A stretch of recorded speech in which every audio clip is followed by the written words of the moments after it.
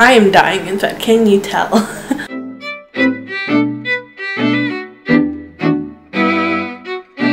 hey guys, Allie here and today I'm going to be showing you how I write paper slash essays. Just kind of like the rundown of how I do that. This video is low-key inspired by one of my favorite YouTubers, Emma Angeline, who made a video similar to this a few months back, and I'll link her video down below. And I'll try to put a card somewhere up here. I don't know. For those of you who don't know me because you're clicking on this video because you have a paper to write and who knows how many days, hours, weeks, and you don't know where to start. Hi, I'm Allie. I am a second year university student and I am earning my degree in English, specifically literature and writing because like my, my major is literature and writing. It means that I'm going to be spending the remainder of my time in university riding until my hand and my brain cut out, which is basically like the gist of university. It's just doing and learning until like you can't. I want to point out that I am nowhere near the perfect student. Trust me, things I've done in the past couple hours are just very questionable. I'm just not even like half decent student. Like I can I can act like I have it together like on this channel and like in front of other people. Like behind like the doors of like my color coded planner my color coded notebooks and my like I don't know study with me videos. It's, it's a mess. Honestly I don't even know how like I've made it this far in my education. Anyway this video is going to be divided into five parts which is the topic sources writing citations and drafts in that order specifically. Um, I'll leave timestamps down in the end card down bar below. If you want to skip to a specific part, that's fine by me. I'll I'll help you not watch the entirety of this video. But if you want to watch the entire video, go ahead because so um like I said, I'm a second year university student. This is my second semester right now of my second year. And this semester I think is my most paper heavy semester. Roughly nine and a half papers I have to write. Currently I'm writing paper two of the semester. It's week five by the way. I am doing really well. That's why. anyway, um, I'm just going to be using examples of two papers that I'm focusing on. One that I've just finished the first draft on Friday and working on the second draft for tomorrow because um, I didn't get critiques, so I have to kind of like figure out what I want to change myself. But that's a whole other story. Um, and one that's due in April, but I kind of have like a general idea of what I want to do with that paper, so I'll just So first we are going to be talking about topic or like how to choose a topic. I have two kind of examples for you for choosing a topic. I have one where it's like a, just a broad subject where I could write a paper on and the other one is more like more kind of fixed but I'll explain them in a bit. First I'm to talk about like how to narrow down a topic. I'm to use the example of my geography paper which for my geography class the paper is basically write about something that has to do with something in the world whether like social, you can I don't know, I really don't know but it's just something that's going on in the world and I have a whole bunch of questions. So the question, this the way I got to this topic, which my topic is going to be gun violence in America and like how a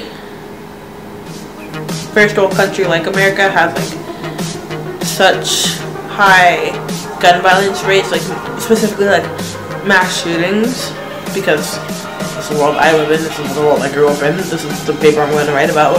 And um, like I said, this the um, I could have talked about like anything. I could have talked about climate change. I could have talked about uh, just literally anything. But I just chose something for that paper that stuck out to me, and that I would be interested in writing in. Like if you're gonna write a paper about something that you're not interested in, you're not gonna want to write it, and it's just gonna be absolute crap.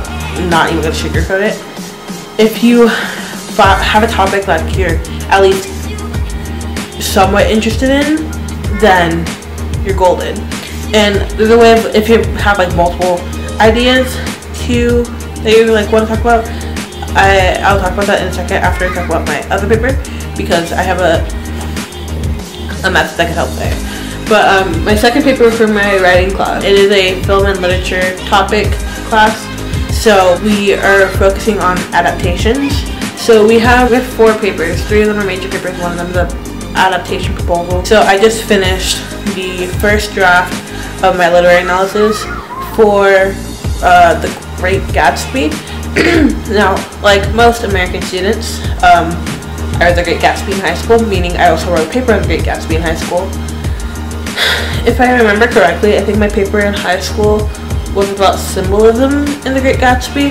And I could have very easily just copied that, but I didn't want to be that person who just like half-asses their paper. Please don't be that student because honestly, there's probably a way that they can find out if like you plagiarized your own paper. It's, I don't know. I, I don't know how to how how Turnitin and VeriCite like work. I think I focus on the carelessness of the socialites in Gatsby. Like I said, I read The Great Gatsby before, um, but I read it two years ago. I could have sat here and read the entire book in four days.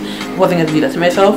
So I I looked up Spark Notes and Shmoop just to summarize to to refresh what was about. And was reading the like the summaries. I was like, oh, you know, this is really. I don't know. I'm going. I'm really really tired and sleep deprived. I'm so sorry. So I decided to write on about Gatsby, Tom Buchanan, Daisy Buchanan, and Jordan Baker, and how they're being socialites and rich, and how that how that causes them to be careless. I didn't really like know exactly like how I could write this paper, and I'll talk a little bit more about this when I talk about the writing section. But I kind of made a mind map situation where I wrote down obviously a Great Gatsby in the middle, and then I wrote down the four characters I just talked about because I figured that four characters would give me enough. Like I said, the paper has to be four pages, so I figured out like four characters, and there are four prominent characters anyway. There's maybe like I don't know one character I could have added, but even then, there's not enough about him that I could have added to make an entire paragraph. But um, that would be four body paragraphs, and then an introduction and conclusion paragraph, which reached five pages because the Gatsby paragraph was huge. Um, I'm gonna talk about like how I organize everything too. But I I made my map and then put the characters on the outside, and then I talked about like I like I said my thing was carelessness. So I I wrote each thing that made them careless see like can I pull enough out of this character to my to write at least a paragraph about them, and I did, and it worked. Now, like I said earlier, like if you have like several topics you want to talk about and you don't know which one to choose, um, you can use a mind map situation for that too. In like high school, more likely college, not really, not really high school, not that much, you're gonna need sources to back up your information. And um, fortunately for me and for every university student, all universities and colleges provide some sort of database for you to look up additional sources like scholarly articles, peer-reviewed sources, and all that. If you're not in university or college, it's a lot harder. For those of you who need to write like big papers, I think my big paper started in 6th grade, so like from 6th grade to like 12th grade, I used Google Scholar, which isn't the best, like it's not going to slide at university because it's hard to find peer review sources, which which is what you need. A lot of school, a lot of classes, professors require them in university, so I just use um, mine. There's JSTOR. I use Academic Search Premier because for the papers I've been writing, it's a more broad selection. My school provides a lot of places and a lot of different places have like specific sources like you may need a film database or a Bible database. So I needed a Bible database for another paper so I couldn't use Academic Search Premier. Generally different search databases have different like ways to search. For Academic Search Premier you could type in like a keyword and then if you want to add more like to narrow it down you can. That's how I found sources for both my papers and generally I just read the abstracts and if it seems like concrete enough for whatever I want to talk about, then I'll just save it and then later I'll read it. Like for my my geography paper, I'm I have all my sources, I have my topic, all that done and stored away. So I do till April, and I'll probably start. I have to get more sources because I have to get a lot of them. But I'll probably start during spring break, which for me is the first week of March. Maybe a little bit before that, and all I have to do is just like formulate my paper. Check with your university. It's normally on like the library page website where you'll find it. Also, um, with like your the like academic superman or whatever, it's not only articles. Sometimes they have like scanned PDF versions for free for the book. I've kind of hinted at it. Um, here, this is where I would kind of use like my my little mind map and uh, the sources. Now, the way I write and I, I formulate things is kind of backwards. Because I know you're supposed to like start off with a topic sentence and a thesis and all that. Which is great. But um, when I first started writing papers in like middle school, early high school, I would run into the problem of like having what I want to say in a thesis but not being able to find sources to back it up or like a quote to back it up. So what I've started to do is that I would, if I had my general idea, I'll find the quotes first, and then I'll do the body paragraphs first, then I'll do my introduction conclusion, or at least my thesis. I like sometimes I'll do like the first part of my introduction, but like my thesis sentence I'll do last, and my introduction obviously always do last because that's when you're supposed to do it. But I always do my body first, and I won't. The way I write my paragraphs is claim evidence commentary and times how many ever times I need to like to get a paragraph or page count. So for my Great Gatsby literary analysis, I just did claim evidence commentary for each paragraph once. So claim is just like the statement you're trying to prove, and then you're saying like, oh, um, Gatsby is careless because he spends a frivolous amount of money to gain the attention of one person. That's my statement. That's my claim. My evidence would be the quotation or citation to prove that claim. The commentary would be me breaking down the claim and the, the evidence, which is basically the entirety of a body paragraph or anything that needs a citation. And always cite your sources and learn how to cite them properly. I use the OWL at Purdue because I don't know, that's what we've been taught since the sixth grade to use. So here I have two um, sample mind maps here. Um, this one is kind of one that I would suggest if you have a subject or question, basically a broad like scope of what you could write a paper on, and you have several ideas here. I just did four ideas. So obviously you can write the subject or question here if you want. Um, and then I just did the topic. So here's the topic. From this topic, you could get maybe two paragraphs off of this one topic. Here you could get three, four, one, and then you from here you choose like since I can find more from this one, I could do this one, or this one will be easier to work with, and then choose based off that one, but also make sure that like, they, they're subjects that you generally care about. This one is um, a loose graph of my Gatsby. I didn't do a mind map for my Gatsby paper, but just, just the thought process and how I wrote my paper.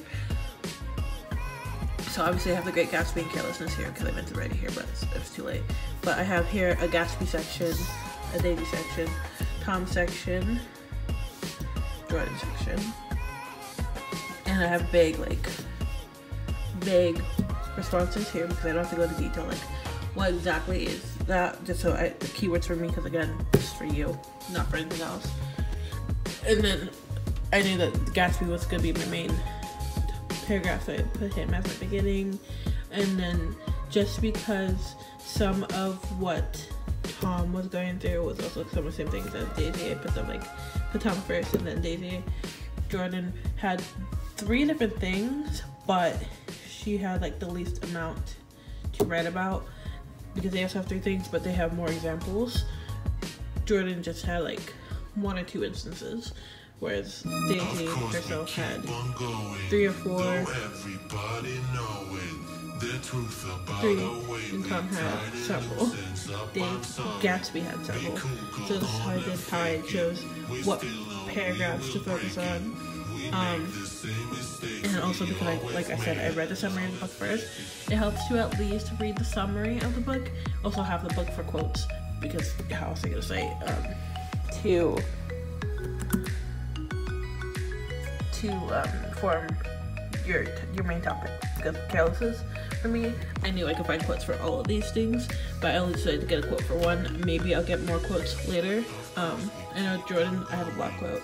Sentence quote sentence quote sentence quote. Um, for Gatsby and Daisy get more quotes maybe Tom. That's, that's about it. Here I'm going to quickly show you how I write my paper. So first we have to make sure that everything's formatted the right way. My computer slash pages thing doesn't start off with the font I like, so I have to change it to Times New Roman, Times New Roman, and 12 point font and make sure it's double spaced. I also make sure the heading is first name, last name, your teacher slash professor's name. Um, then it's the course name or course code or class name and then it's the date and the way you write the date for MLA is day, month, year, and um, you spell out the month. And um, you have to put the day that it's due. So if I had a paper due tomorrow, it would be um, 9 February 2019. And then you have to put a title, always flush it to the center, and then go back to have everything on the left hand side. Um, always make sure you indent your paragraphs here. I'm just gonna write how I organize it so I know like okay this is where the introduction paragraph goes. Here's this body paragraph another body paragraph and um, I, I don't know a couple more body paragraphs. Let's just go crazy. And then a conclusion paragraph. I'm sampling it the way that I did for my Gatsby paper because that's the example I'm going to go through today is um, this is like the first rough outline of where my paragraphs go and I always make sure they're indented so I don't have to do it later or don't forget if I'm tired and I'm rushing. And then I'll go through after if I have the, like what I know exactly which body is what. Um, well, I'm here, I think I'm just making a fake, very, very fake uh, introduction where I'm just keyboard smashing and make it look like a paragraph. Um, because it gives the paper volume and it looks more like a roll paper even though there's a lot of non-existent words. Um, and yeah, I still have introduction there. Normally, when I write um, and I do stuff like this, I'll begin and take off like introduction. So like if I am exhausted and I'm not paying attention and I forget to like I'm not paying attention at all. Um, I don't want it to be like introduction and it goes my thing. Then, um, like I said, I changed the name so like if I know what paragraph is who, I'll just write it down for later when I'm not paying attention. So like the first paragraph is Gatsby, the second one is Tom. The third one will be Daisy. And then the last one will be Jordan. And that way, um, I know for later that's already organized. So if I'm writing and I'm like, oh crap, I forgot which paragraph I'm gonna do here, it's already taken care of. I'm also fixing it so it looks more like a paper because it's looking a little jank. um, yeah, so but here we're gonna we're gonna sample out the Gatsby paper and we're gonna do a bunch of more fake words where I'm just gonna write blah blah blah a lot and just you know copy and paste and um, just make it look like a paragraph a lot of a paragraph. Come on let's let's go.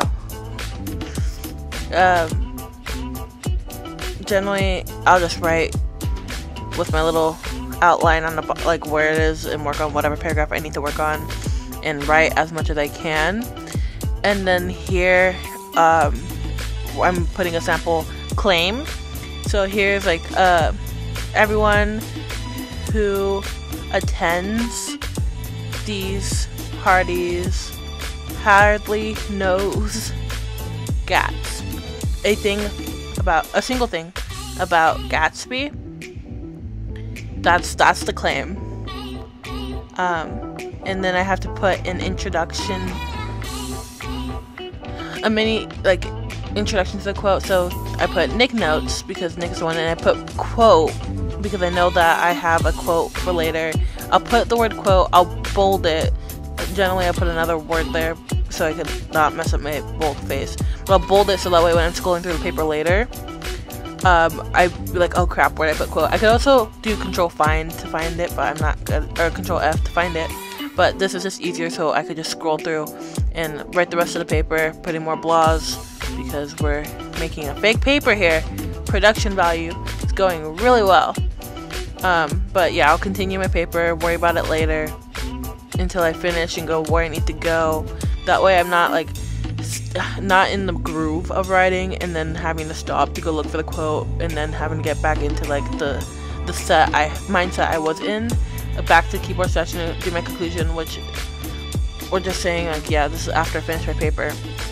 I also forgot to mention um, page numbers for MLA is top right corner last name your last name put a space and then put the page number just enter page numbers and you can also edit it and make sure it is in time Times New Roman and 12 point font so it matches rest of your paper. You will get points marked if you don't have either or any of those things. By the time I finish the paper, I'll go back to the quote area, delete that, and actually put in the quote. In the quote that I had, um, I'm editing a bit because it was I. I think it was the first one was I but here I just added he in brackets because I am editing the quote um, to fit my point. So he was one of the few guests who had actually been invited. People weren't invited, they went, is the quote, I think. And um, that quote is two sentences long. So generally, when you do a quote from LA, whatever the last ending part is if it has a period, you don't put the period, you put the quotation. You're gonna see that in a second. You're gonna put the quotation, like the symbol, then you're gonna put a parentheses, put the page number, and then put a period. Because my entire paper is only being quoted by Fitzgerald's Great Gatsby, I only put the page number, but if I was using several sources, I would use the last name of the author of that certain source I was using. Um, so then that's my evidence is a quotation and then I add more blahs but that's my commentary of explaining that and that's how I write all of those sections. The next section I'm going to be going over is the OWL Purdue website. So you go to owl.purdue.edu backslash owl backslash Purdue underscore owl.html to access the Purdue University online writing lab, which is very helpful. Um, I've been using this, like I said, since the sixth grade. Um, they have an MLA guide, which is what I'm going to be going through. They also have an APA guide or Chicago guide if you need to write in those styles. It depends on your teacher slash professor on what style you have to write on for a paper. Um, on the MLA, it has a whole bunch of little workshops and overviews, but we're going to go through the formatting and style guide to show you like specifics of what to do there or how to get help for certain things. So on the main page for the formatting guide, it has like a little summary, a page format, and general guidelines like how big your paper should be, um, double space, um, font, and um, font size, uh, headers, footnotes, uh, margin sizes are also there, like how you need to have them for. There's also how to format your first page because um, as far as I've done MLA papers, there isn't really a title page unless required and there's, a, there's another way to do that but it's a whole other situation so there's also like sample pages and section headings which for so far I haven't had oh, I had one professor who needed us to do section headings, um, but it was only once, and it tells you how to do that if you are required to do so. How to, I think, cite books is what that was, as well as other stuff. On the left-hand side, there are more specific sec like section subtabs to look at. So we're gonna look at the works cited sample page, as well as um, cite, yeah, quotation formatting endnotes and footnotes, and a PowerPoint presentation. And um, the MLA 8 changes because there there were changes and updates to it. So for a sample works cited page, um, I don't really like hand do all this. I use a generator website. Um, and if I need to fix it, I'll fix it. But for the most part, I don't. That's how it should be, though. Um, and then for quotations, this is how I cite stuff. Short quotations are generally about one to, I think, maybe two, well, one to maybe three sentences because they're short. Longer quotations are four and up sentences, and those are block quotes. And it tells you how to do that and how to where to put the like page number slash author name. And um, it also talks about adding and omitting words, like I did in the Great Gatsby example, where I added he, or if you need to add an ellipsis, because you're connecting two quotes to making them one short quote. It does that so you don't like make a muck out of I don't know the quote and it just shows like what is the real quote and what is what you added. Then for endnotes and footnotes, it tells you how to do that. Endnotes are a separate page, I believe, and then footnotes go at the bottom of the page. For MLA papers, I haven't had to do either, but I've had to do footnotes for um, my Chicago style papers. And then the PowerPoint presentation is basically everything on that website in a condensed 43 slide presentation where you can download it yourself and save it for later. I've known professors who downloaded the PowerPoint presentation and added it on their student section or their school page. And then here is the changes that were made to the MLA 8th edition. So I wouldn't be a proper English major if I didn't give you some reading. Um, my first semester here, um, I took my writing one class, which everyone has to take at my school, and I'm pretty sure every school has to take like writing one equivalent class. Um, uh, we had to read. I can't remember her name right now. I think it's Anna something. I don't know, but I'm gonna link a copy of her article or paper, like a copy of the thing I read called shitty first drafts, which basically tells you like your first drafts are gonna be shitty. That's that's a gist of like a first draft. It's not gonna be perfect. It's a draft for a reason.